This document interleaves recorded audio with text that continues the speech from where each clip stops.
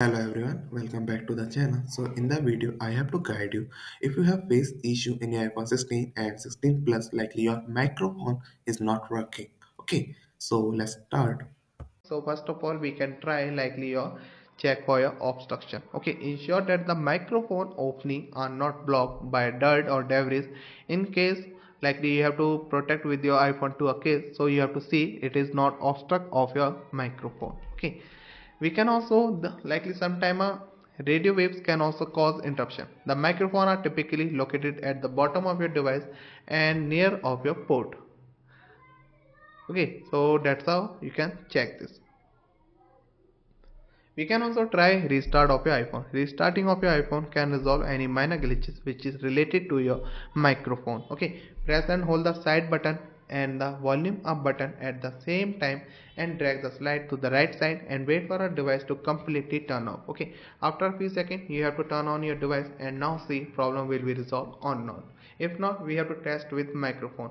Open your voice memo app or make a call test like the, if the microphone is functioning record a short message and play it back to see if you can hear your voice clearly or not. If not we have to visit your apple store so they can guide you how you can resolve the problem. If it is your iphone in a warranty care or also in come with the apple care okay? So it is a simple solution you have to visit them and we can also check for your app permission. Sometimes ensure that app you want to use with a microphone like voice memo or a facetime or any third party app have permission to access of your setting. How you can do this? Go into your setting then privacy and security.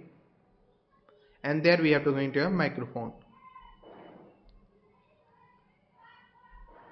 So we can also search for your microphone. There is tap on this and now you can see all of the app which is you have to enable them. There are the app which is needed of your microphone. Like I have to not enable in my team so I have to enable them. That's how you can use of your microphone access in your device. And we can also check your your iphone ios version is running to the latest version of your ios 18.1 if not we have to update of your device how we can do this? Going to your setting again. Now general and then we have to go in software update. If an update is available so we have to update of your device. Here okay. And we can also check of your accessibility setting. Going to your accessibility in your setting there is and now we have to go audio and visual. There is okay. And likely we have to see that any setting which is not related to your audio routing or also all of the setting which is configured correctly in your device okay? And if the problem persists we have to consider resetting all setting without deleting your data go into your setting again. Then we have to go in general. Here is and now we have to go into transfer or reset iphone okay? And now we have to reset reset all setting give them of your passcode of your device and confirm this setting. That's how you can resolve the problem if problem persists.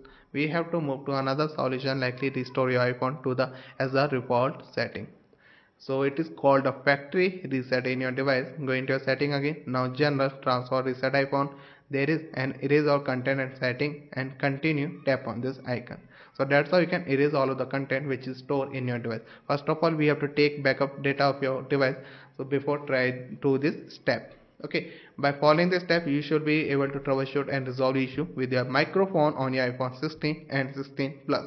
If it is not work we have to contact your apple support team so they can guide you how you can resolve the problem